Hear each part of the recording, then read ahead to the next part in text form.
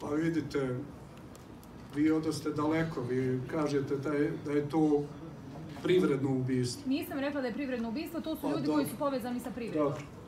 Ne znamo šta je uzrok. Ubistvo je ubistvo i nije više bitno s čim je povezano, čovjek je Bitno je, čovjek. Molim vas, postavili ste pitanje, dozvolite da odgovorim. Prema tome nećemo sad polemisati. Vi ste rekli, a ja ću da odgovorim, samo sačkaj. Ja sam rekla privredno ubistvo. Pa nisam to rekla. Pa dobro, hoćete da dođete onda i da odgovorite. Ajde, prošite i s ove strane. Pa molim vas, znači daj, dajte malo da budemo parlamentarni. Ja upravo želim da odgovorim. Ovog momenta na terenu i ministar policije i direktor policije, ja se nadam da ćemo već u toku današnjeg dana riješiti ovo ubistvo. Najnovije, zadnje, sinoćne ubistvo. Prema tome, ja prije svega kao čovjek, kao legalista, izražavam najveći bol pre svega prema porodicama ubijenih. I učinit ćemo sve da takve i slične slučajeve u narednom periodu što je moguće više spriječimo.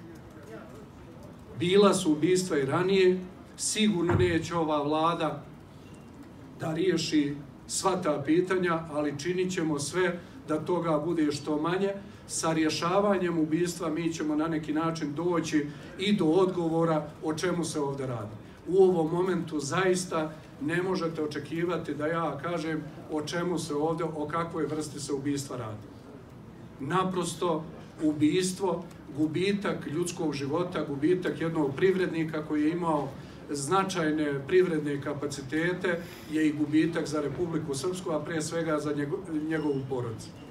I ja kao čovjek moram učiniti sve i učinit ću sve da ako treba u narednom pe- periodu pojačamo i izmjene određenih zakonskih rješenja i preventivna neka djelovanja da do ovakvih i sličnih slučajeva u narednom periodu ne dođe. Prema tome, ja ne znam šta bi vi očekivali u ovom momentu da vam ja kažem. Radimo na rješavanju ovog slučaja. Čuo sam se sa ministrom prije pet minuta i imamo već naznake da su određena lica uhapšena i privedena koja se direktno dovezu, dovode u vezu sa ovim ubistvom. Samo sa privođenjem počinioca ubistva i rješavanjem ovog slučaja mi ćemo poslati poruku i svim ostalim građanima da razjasnimo o čemu se ovdje radi. I Republika Srpska i vlada Republike Srpske i ja kao predsjednik vlade činit ćemo sve da tako i u narednom periodu bude, ali volio bi i želio bi da nikad na ovim prostorima u Bosni i Hercegovini pa i šire ne dogodi se više ni jedno ubistvo.